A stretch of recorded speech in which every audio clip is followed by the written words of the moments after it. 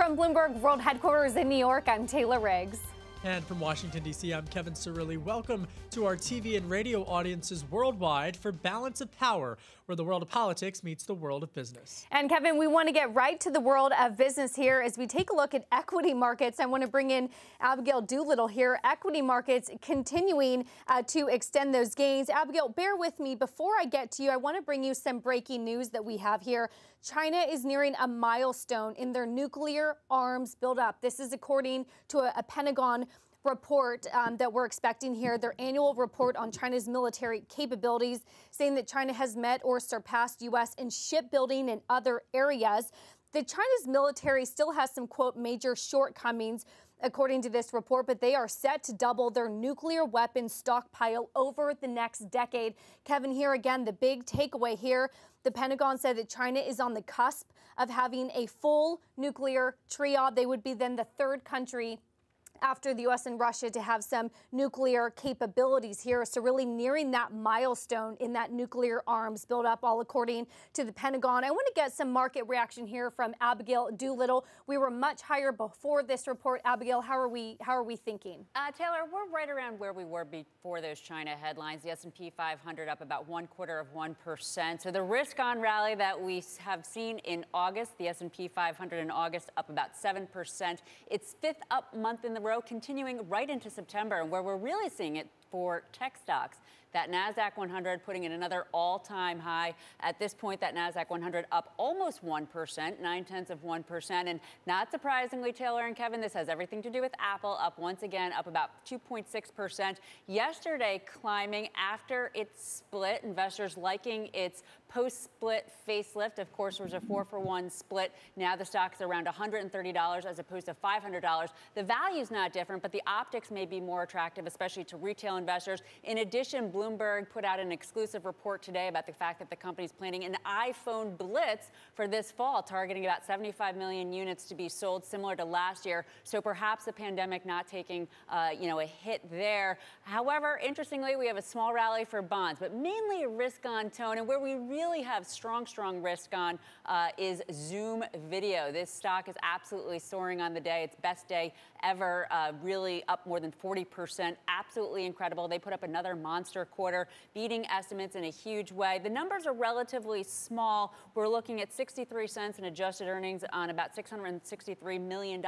But those revenues quadrupling from a year ago, and the outlook, they raised it twice this year, Kevin. This stock up, up, and away through the pandemic. And I think the big takeaway here for Zoom and some of these other stay at home stocks, this is not a fad. These trends of folks working from home and video conferencing is probably here to stay with us. And folks, uh, traders, and investors wanting in on that trend, Kevin. Yeah, thank you, Abigail Doolittle. I'll take it from here. And Kevin, given your perspective, you're out in D.C., this yeah. annual report that we've given you at least 60 seconds to look through right now. What is your take here on nearing this milestone in China in this nuclear arms buildup? Well, three things. First and foremost, Secretary of Defense Esper tweeting out just within the last hour or so saying that China has sought to quote unquote double the size of their nuclear arsenal. Secondly, just within the last half hour or so, President Trump weighing in on U.S. and China relations. Specifically, he was asked by a reporter uh, at uh, with regards to the sale of TikTok. He's doubled down on the escalating tensions on the tech front between the U.S. and China, saying that China has until September 15th in order to sell TikTok and and and finally, you know, you, you look at the developments just in the Indo-Pacific as well as on the border between India and China and the and the skirmishes, at least two in the last month along the uh, India-China border, and all of this just bringing a heightenedness uh, to this issue. I want to bring in Bloomberg's national security team leader Bill Faries for us for some more perspective. Again, just in terms of how uh, the Pentagon's report, Bill, uh, really, uh, really uh, looking, taking a look at, at China's military. What does it mean in terms of the potential for for where what this does to U.S.-China relations in the short term? Well, I think in the short term, it's, de- it's certainly going to provide some fodder to more of the hardliners in Congress uh, and in the Trump administration who say, you know, we need to take China much more seriously. We need to cut a lot more of these technology links with them. We need to really review the entire relationship. And I think there's also an angle to this on the Pentagon side, which is Uh, the Pentagon is, is very interested in helping modernize and, and rebuild its nuclear stockpiles. This is going to provide them with extra ammunition to go before lawmakers after all the spending that's been done during the COVID uh, 19 crisis and say, no, we really do need more of this funding going forward to counter China. And Bill, you mentioned in the middle of this COVID pandemic that we're in, we're getting another headline saying that the U.S. advisors are offering a draft on how to distribute a COVID vaccine. So, of course, getting a vaccine and then distribution remains another big hurdle. As we're thinking about China in the middle of this pandemic, where is the international community's response? Well, I think it's uh, a very hobbled response. I mean, depending on where you look at, the United Nations, uh, the Security Council there has been very divided, uh, with the U.S. Uh, sometimes alone on one side against uh, China, Russia, and European nations. I think uh, you know the U.S. pulled out of the World Health Organization earlier this year. They would normally have a very significant role in helping maybe set the terms or set guidelines for how a vaccine uh, could be distributed. The big question uh, behind uh, what you're pointing out is also what if China develops that vaccine first? That will present uh, an interesting uh, difficulty for the U.S. in that case. There's more than 130 vaccines in development worldwide, only a handful of them uh, truly in phase three trials, as it's known. I want to specifically target in on two countries in particular, Bill, for how they've been dealing with China, and that's Australia and the Germans. What do we know about the contrast and how these two countries have sought to have business relationships or lack thereof with China? Well, certainly Australians have found themselves in a more difficult position. They have been pushing back against China. Uh, we have seen them come uh, join the U.S. in terms of rejecting uh, many of China's claims in the South China Sea, um, and they have paid a they have paid a price with uh, some sanctions and restrictions by China on on doing business with Australia. So that threat is very real, and it's not something that uh, just Australia or Germany worries about. It's something uh, pretty much uh, every other country in the world uh, has uh, has to deal with when they think about how closely to toe or support the U.S. position on everything from 5G technology to to vaccines. All right, our thanks to Bloomberg's Bill Faries. Thanks for jumping on and breaking mm-hmm. down that story for us. And still ahead of President Trump's visit to Kenosha, Wisconsin today, he said that Democratic nominee, former Vice President Joe Biden, sparred over blame for street violence linked to racial injustice and police treatment of minorities that erupted in recent days. We have to stop this horrible left wing ideology that seems to be permeating our country and basically it's weakness. It's weakness on behalf of Democrat politicians or Republicans. Do I look like a radical socialist with a soft spot for rioters? Really?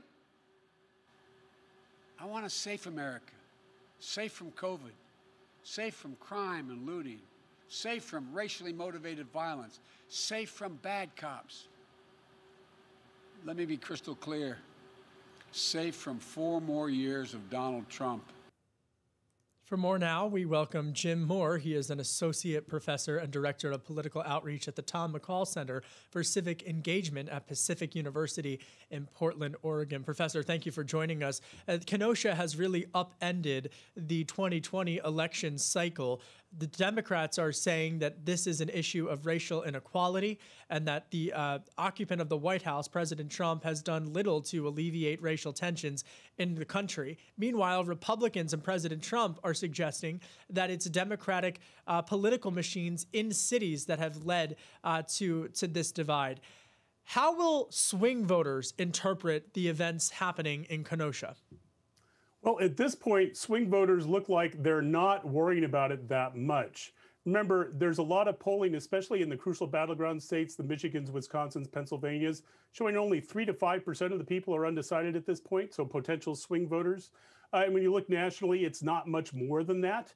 Uh, so when we look at those swing voters, it appears that they're worried about COVID 19 and they're worried about the economy.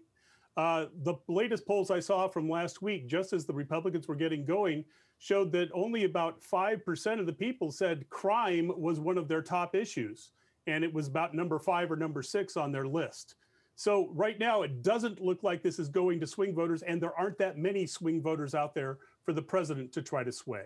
You know, Professor, you said that voters right now are really concerned about the economy. You look at places like Portland, for example, you have unemployment that's higher than the national average. How much of that, too, can play into this, where it actually might favor Trump, as some JP Morgan strategists have mentioned, where all of this unrest plays right into his playbook? Well, I think it does play into his playbook, and he's been very upfront about it since basically the beginning of June that he wants it to play into his playbook. Uh, he wants this to be a law and order presidency. He's been very explicit, as in his advisors have been explicit. He wants to mimic the 1968 election where Richard Nixon used law and order to win a close election and become president of the United States. Uh, the issue that he faces, though, is the overwhelming health concerns of COVID and the overwhelming economic concerns. Even if you have a job, you're worried you're going to continue to have a job or your salary has been cut. That kind of worry right now outweighs law and order things. But the longer that the protests go on, and not the protests themselves, but the, the violent things we see. In Portland, for instance, there's a few hundred people out on the streets every night these days. We had 10,000 in June. Now it's a few hundred. And of those, a couple of dozens are the ones who light fires and things like that every night. And so it is it, when we focus on that, and the president wants us to focus on that, then there's a fear that develops. And the, the president is hoping for that fear. And he's been very, very upfront about wanting that to happen. You know, it's really remarkable because essentially what the Republicans are saying is will the Democrats care about the small business who gets uh, by a handful of those of those rioters? Well, they care about the small business who, who's looted or who's burned to the ground? And what the Democrats are saying, Professor Jim Moore, is that essentially, well, has has the president done anything to alleviate this? But I want to pull back up uh, the uh, the Wisconsin election results in, in Kenosha County because this is absolutely fascinating in terms of the swing voters that are really going to side this. There it is. If, for our, our for our radio audiences. I mean, for the first time in more than four cycles at least, the, the Republican candidate, candidate Donald Trump, beat the Democrats in 2016 in Kenosha County. You look back at previous presidential histories 2012, 2008, 04, 2000. Democrats far, far beat in Kenosha County uh, uh, the, the Republican candidates. So, what is it specifically about uh, President Trump that he played well, Jim, in Kenosha County in 2016? President Trump ran as the outsider. He ran, and we've seen this before. This is Ronald Reagan in a big way, but it's Jimmy Carter. Bill Clinton ran as an outsider. He ran as the outsider, and Hillary Clinton was the consummate insider. What had government done for people in Kenosha County? Man, jobs had been leaving. The quality of life was disintegrating. There were previous things with the police there. So they looked around and said, you know, this is not what we want. We want the change agent. Now, the issue that President Trump faces right now is he's been in power for four years. He's been the president. Have things changed? So it would be interesting if one of the candidates, probably Biden, eventually asked the Ronald Reagan question that he asked of Jimmy Carter Are you better off now than you were four years ago?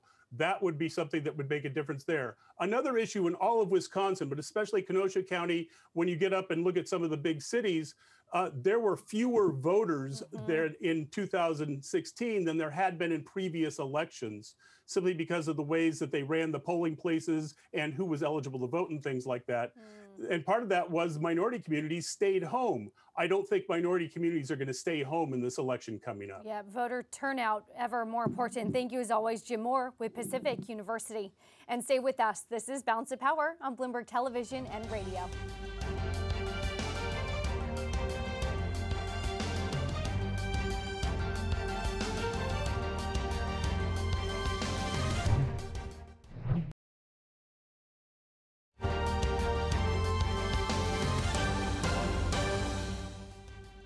This is Balance of Power on Bloomberg Television and Radio. From Washington, D.C., I'm Kevin Cirilli. And from New York, I'm Taylor Riggs. We want to turn now to Mark Crumpton for the Bloomberg First Word News. Mark. Taylor and Kevin, thank you so much. Senate Republicans are pulling together a $500 billion COVID 19 relief package aiming for a vote next week in an effort to prod Democrats back to the negotiating table. Republican lawmakers in the Senate have been working on a slimmed down virus stimulus that would spend much less money than the $1 trillion proposal put forward by Senate Republicans last month. Treasury Secretary Steven Mnuchin is set to testify today before the House subcommittee investigating the federal response to the coronavirus pandemic. Jared Kushner and other U.S. officials visited a major airbase in the United Arab Emirates today. The U.S. delegation arrived in the UAE on an El Al plane on Monday in the first ever direct commercial passenger flight between Israel and the UAE. Last month, the two countries agreed to establish diplomatic relations. The visit came as Iran's supreme leader called the UAE's recognition of Israel treason. Representatives of Iran and the world powers working to save the landmark 2015 nuclear deal with Tehran met today in Vienna. It was their first meeting since the United States announced a bid to restore United Nations sanctions against Iran. The deal promised Iran economic incentives in exchange for curbs on its nuclear program. But with the reinstatement of sanctions, the other nations have been struggling to provide Iran with the help it wants. Global News 24 hours a day on air and on Bloomberg Quick Take, powered by more than 2,700 journalists and analysts in over 120 countries. I'm Mark Crumpton. Kevin and Taylor. Thank you, Mark. Now, the U.S. Bureau of Labor Statistics is projecting employment to grow four tenths of a percent every year for over the next decade. It's a forecast much slower than the 1.3% expansion rate we saw following 2008. Against that economic backdrop, many investors are betting on easy money for the foreseeable future. Former Federal Reserve Chair Janet Yellen agrees, saying low rates are here to stay.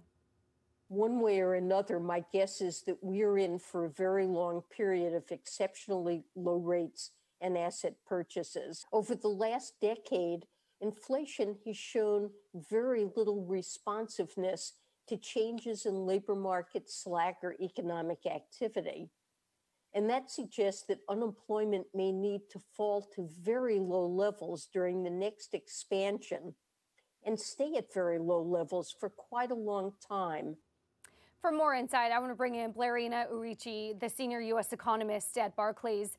And I understand that the Fed wants to keep rates at zero for the foreseeable future. How much more, though, can they do without the help of fiscal stimulus?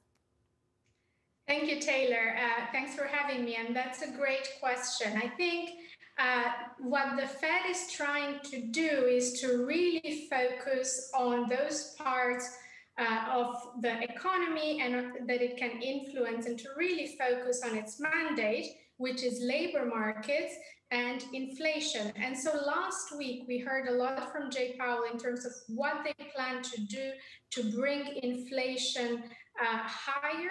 We all know over the past decade they've been undershooting their target, and this move towards an inflation, uh, a flexible inflation averaging framework, is them telling us that they're going to stay put for a very long time until they see inflation uh, sustainably above target for a number of years. I think this is important. It has practical implications for monetary policy.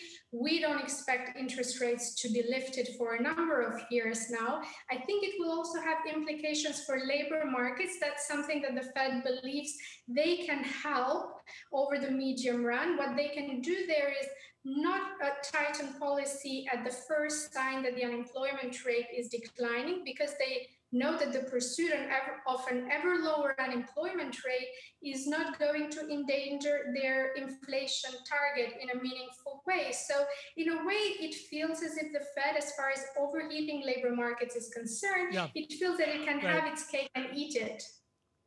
Well, Blerina, you know, I think you make such a great point, and that's exactly where I want to take the conversation because how much pressure can the central bank put on Washington, D.C., Treasury Secretary Mnuchin, Leader McConnell, Speaker Pelosi to finally push fiscal stimulus over the finish line? I mean, it's not just the central bank, but a lot of folks are banking that that fiscal stimulus is ultimately going to be injected into this economy. So, two very important separate issues here, in my view. First of all, the importance of fiscal policy. A phase four is crucial to make this a recovery sustainable. It's crucial because the unemployment rate is still at double digits. And from here, we can't withdraw the support to small businesses and to consumers that we've had so far. What can the Fed do about it? I think we got a, fa- a taste of that from uh, Vice Chair Clarida's remarks yesterday. He was very clear to say, look, we use fiscal policy as an input Uh, we have no influence over it. So what we're going to do, we're going to watch how uh, fiscal authorities are going to react, and we're going to uh, incorporate that in our reaction function. Successful are you thinking was PPP? I keep hearing from small and medium sized businesses they don't need more debt. They don't need more loans. They need grants. They need revenue. They need relief. How are you thinking about the success of PPP?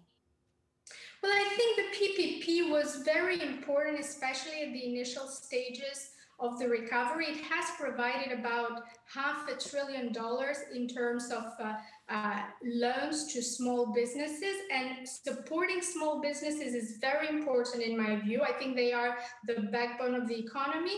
They provide close to 40% of employment in the US. They also don't have uh, access to financial market liquidity like larger companies do. And I think an important aspect of the PPP was that if you use most of that loan to pay uh, the payroll bills, then that can be forgivable uh, down the line. So, in effect, it can be a form of a grant. But of course, um, the lack of information and the way it was deployed at the beginning, and I think also the uncertainty about the terms of the loans and the length of the loan, I think that compounded to make businesses right. uh, quite skeptical of this loan you know, it's going to be remarkable to see just where they go from there. And of course, Mark Meadows, the president's chief of staff, saying earlier today uh, that he's not willing yet to have Republicans place a price tag on there. Thank you to Lorena Iarrucci of Barclays, U.S. Barclays. She is, the, of course, the senior U.S. economist. And we're going to hear more about how the U.S. economy is faring amid the pandemic from Treasury Secretary Steven Mnuchin. He's going to be testifying before the House Select Subcommittee on the coronavirus crisis. That's at 1 p.m. Eastern, and we will bring it to you live.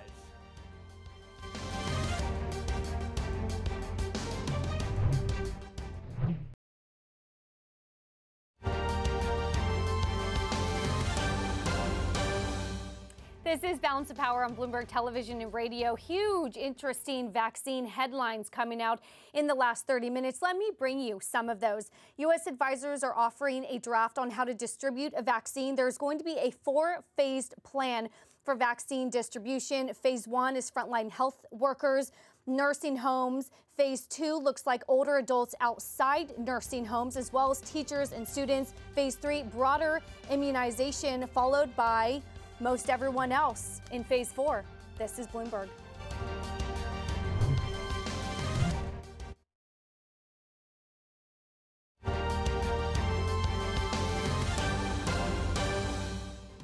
This is Balance of Power on Bloomberg Television and Radio from New York. I'm Taylor Riggs.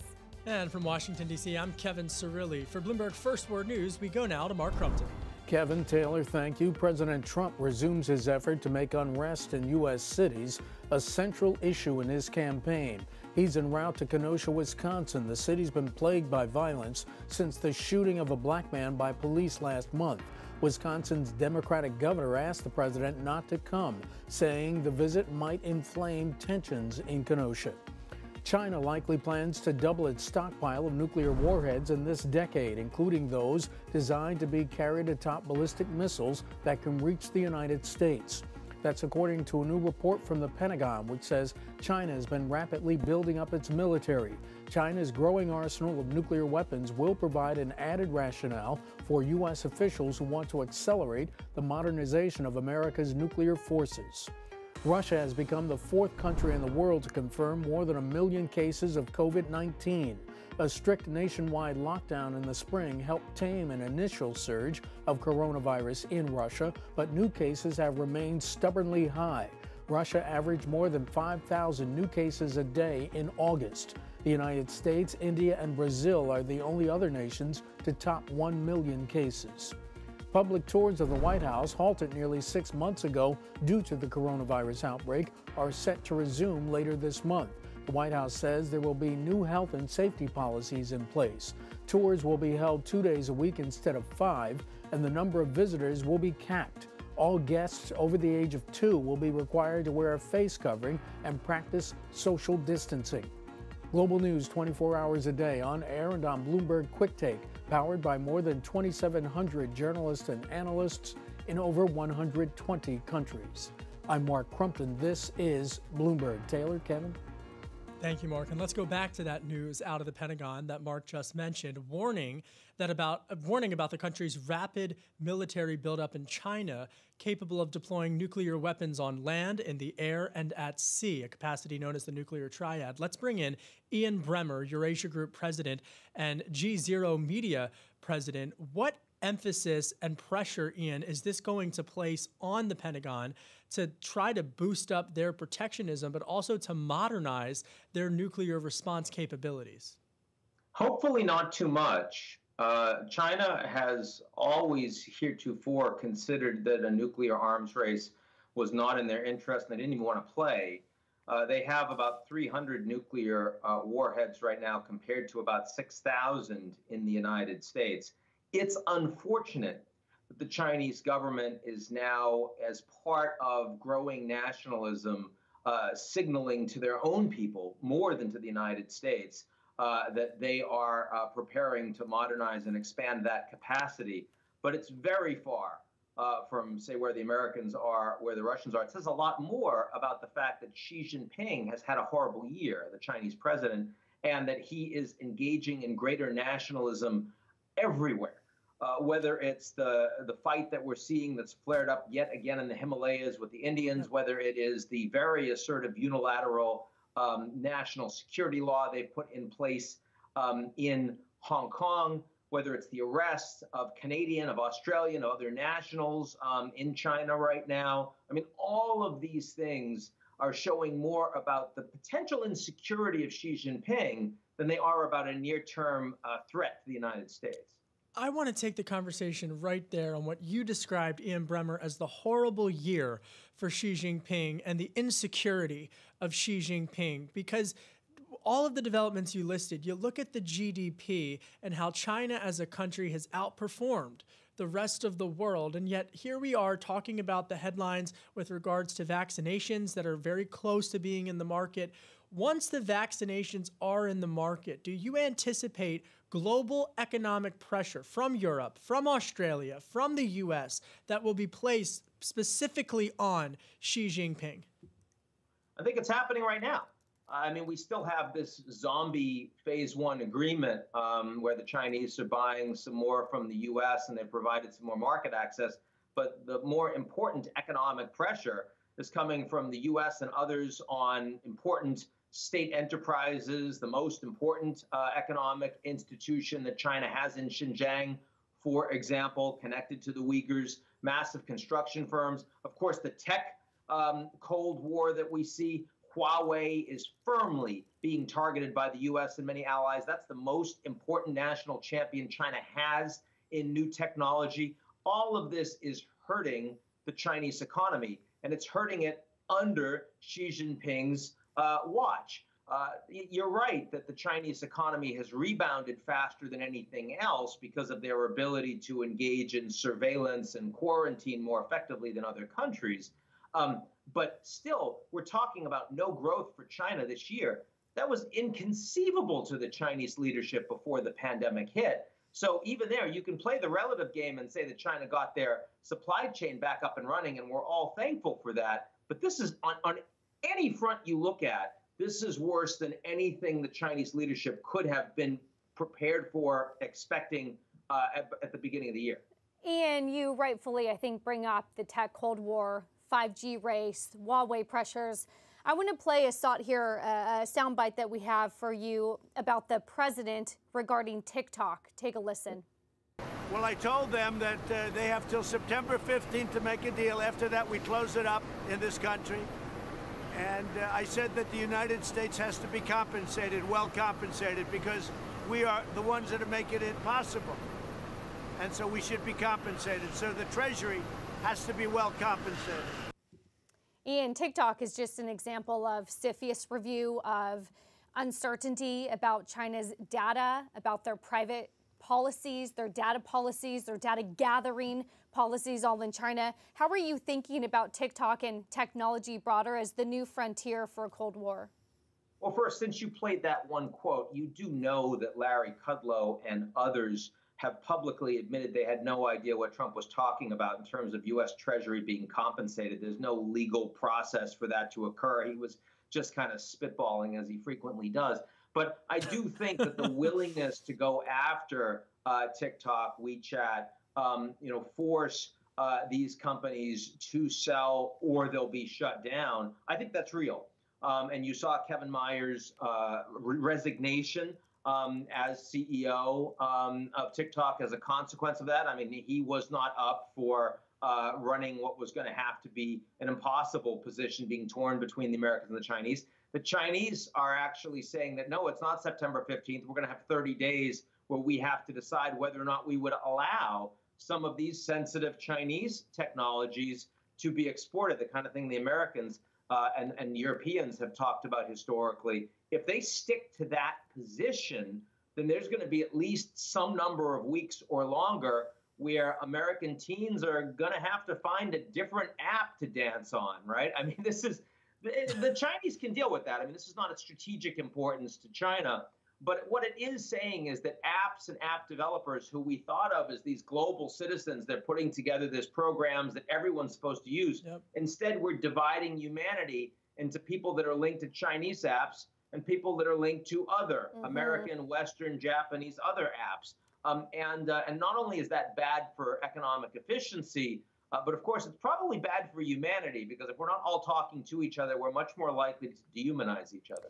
Ian, I want to switch gears with you and go to other international relations. The Iran deal was back in focus today. You have the committee overseeing that meeting back in Vienna to discuss the state of that. I'm thinking in hindsight, was that deal a good deal? And without U.S. participation, where does Iran stand? Well, I mean, it, the thing was, I supported the deal, but I never thought it was nearly as big of a deal as it was promoted as being by Obama, by former Secretary John Kerry. It didn't end all the sanctions. It didn't lead to diplomatic normalization between the U.S. and Iran. It didn't stop the Iranians from uh, putting lots of money into Hezbollah and other radical organizations in the region. Didn't stop them from ballistic missile testing and research that was in breach of other UN Security Council resolutions. It gave them some money it gave it unfroze some of their assets, it let some investments occur, and it froze their nuclear program. That's a pretty limited deal. So, for as much as it accomplished, I thought it was a small step forward. But now that that deal, that the Americans have stepped away, and, and this Vienna meeting makes it very clear we have triggered the snapback procedure at the UN. And by 19 September, the deal will technically be scrubbed from the books of international law and UN sanctions will return. They will snap back. At least that's what the Trump administration wants. The other permanent members of the Security Council all reject that, but the Americans are a lot more powerful. And so, even though you see the Iranians right now trying to reduce their friction with the international community to maximize American isolation, they even last week uh, agreed uh, with the International uh, Atomic Energy Agency to resolve an outstanding inspections issue. So it's removing crisis points. Like the Iranians are saying, right. we want to play ball, we want to play ball. But the Americans are the biggest, most powerful country out there. And if we're the ones mm-hmm. pushing for the snapback, that's really going to hurt the Iranians and the Iranian economy. Well, you know what else is going to hurt the Iranians is this new uh, normalization of ties potentially between uh, Israel and the UAE. Jared Kushner and Company and Brian Hook and and and the likes and uh, uh, National Security Advisor O'Brien. They're in the Gulf Arab states. They're, they're, touring there this week, and they're trying to to maybe pick up another another state to join to join UAE. Is it going to be Morocco? Is it going to be Sudan? Is it going to be Bahrain? What do you think? Well, uh, we haven't heard. I mean, Pompeo uh, was in Bahrain, was hoping, and Sudan was hoping he was going to get movement quickly. They haven't made any announcements yet. Um, there are lots of levers the Americans can pull. Uh, military support, certainly um, removing Sudan uh, from sanctions lists, that would be helpful. They want that. I think we will see additional countries that agree to normalize relations with Israel uh, before Trump's term in office is up. I, I think the movement is in that direction. And you're right. In large part, it is because common antipathy to Iran is trumping any residual support these countries have for the Palestinians, who are increasingly kind of a lost cause and really thrown under the bus, right? And no one's talking about them anymore, and that's that's quite sad. But this is uh, a new geopolitics in the region. By the way, that that historic flight you just saw taken, the first between Israel and the UAE, they flew over Saudi Arabia. Saudi Arabia. I think that's actually a big deal. Mohammed bin Salman would like to normalize relations. He's not king. A lot of conservatives among the religious elites in his country really oppose it, but they're also moving in that direction, and they're the ones that would allow Bahrain uh, to make that decision. So if I were making a bet, I might bet on uh, Manama and, uh, and Bahrain first. Ian, in, in, just the last minute that we have with you, how does a potential Biden election change relations in the Middle East? Thinking more specifically, the U.S. rejoining the JCPOA. They want to.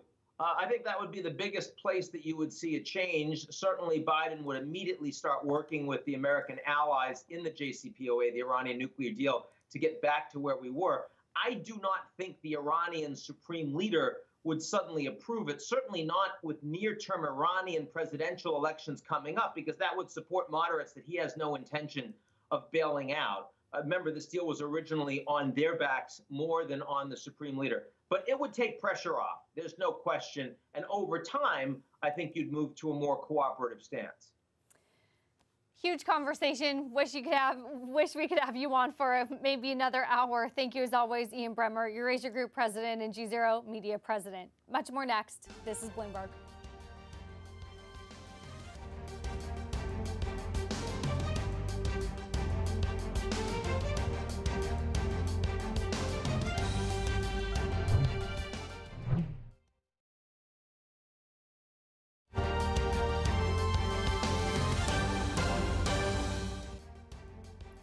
This is Balance of Power on Bloomberg Television and Radio. From Washington, D.C., I'm Kevin Cirilli. And from New York, I'm Taylor Riggs. I want to get some of the key U.S. economic data out today.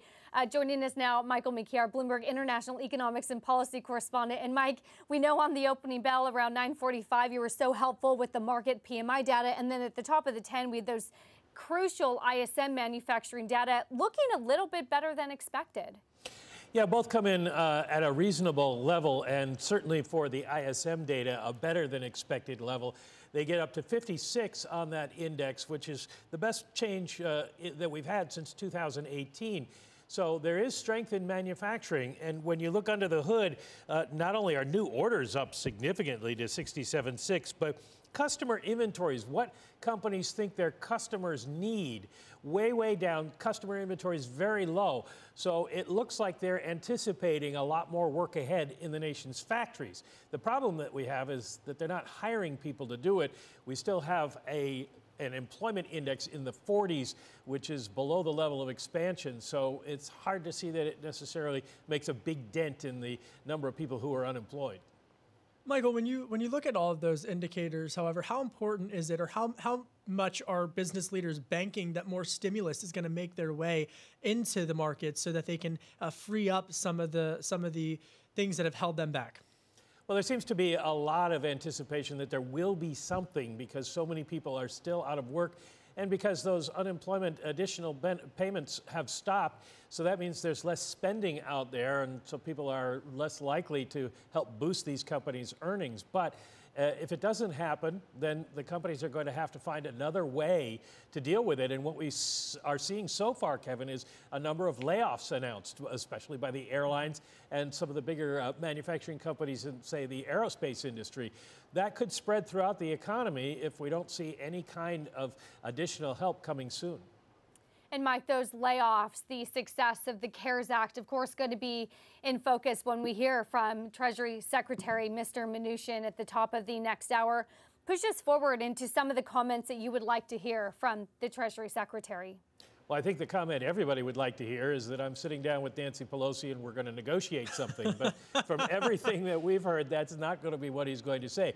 Obviously, it's a political time, and we're going to hear people criticize the administration of the CARES Act. You know, too many loans went to too big of companies, that sort of thing. And there will probably be criticism of the two sides politically for not getting together. But really, uh, what's happened so far has been pretty good by Washington standards, fairly effective. It's the fact that it's gone away now and there's no replacement in sight that has everybody worried. All right, our thanks to Bloomberg's Michael McKee. And up next, we're taking a look at what may be the marquee Democratic Senate primary of the year in Massachusetts a Kennedy versus an incumbent.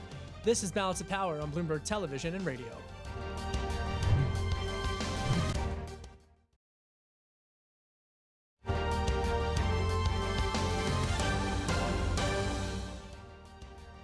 Today is election day in Massachusetts, but the Democrats are not taking on the Republicans. The Democratic Party is taking on itself.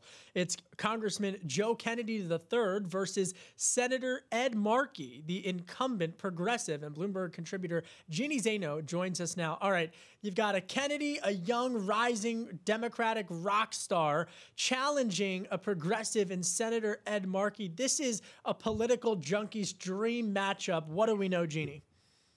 It is, and it is just in keeping with the craziness of this year that you have a Kennedy potentially, and we won't know until later today, maybe if we get the results, losing in a primary in Massachusetts.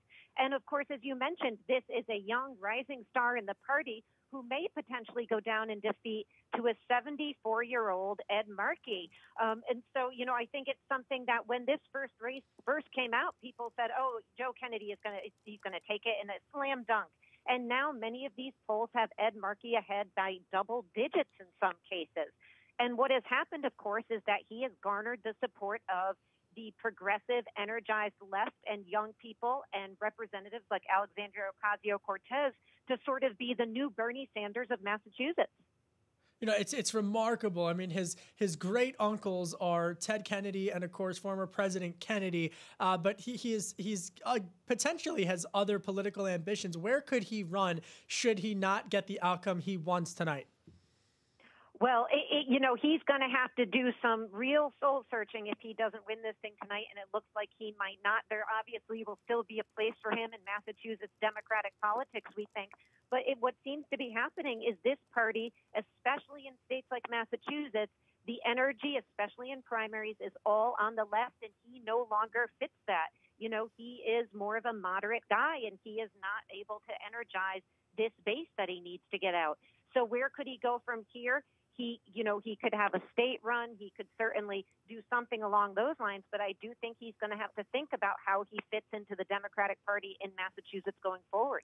Jeannie, how is this not only figuring out how to fit into the Democratic Party in Massachusetts, but how to fit into a more general election? When you think about what's going on in Massachusetts, you take that to a broader scale, and you really do see that the far left versus the moderates trying to appeal to both parties here within the Democratic Party. How do you see this really is more indicative to what's going on on the national stage?